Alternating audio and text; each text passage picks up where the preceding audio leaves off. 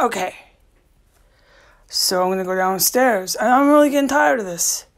This is fucking bullshit. DC, may I remind you, Washington, D.C. citizens, this is really far from normal. This is abnormal. You're fucking horrendous here.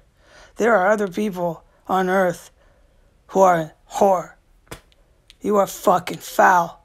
I will never ever say any different. I'm gonna go downstairs and get my package. It's been there a while. I have my chance to go down now.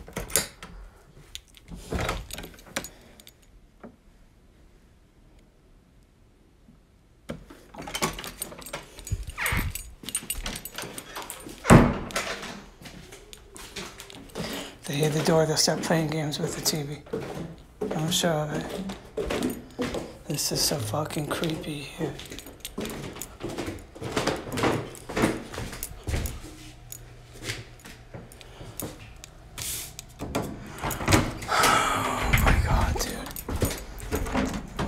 He's taking the packages, these fucking dopes, whoever he's in communication with, fucking proved me wrong. Told him to do it, it's the second time. Alright, just prove me fucking wrong It's all I've ever given you an invitation to do. But all you want to do is act like I don't exist. That backfired on you. I know you failed to see that.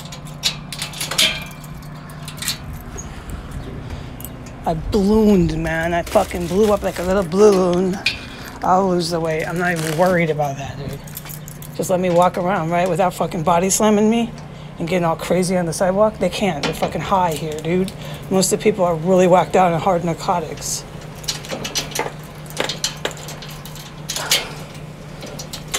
A lot of those reporters are, dude. Okay, so um, I'm gonna go back upstairs. I got my t-shirt or whatever. Let's go.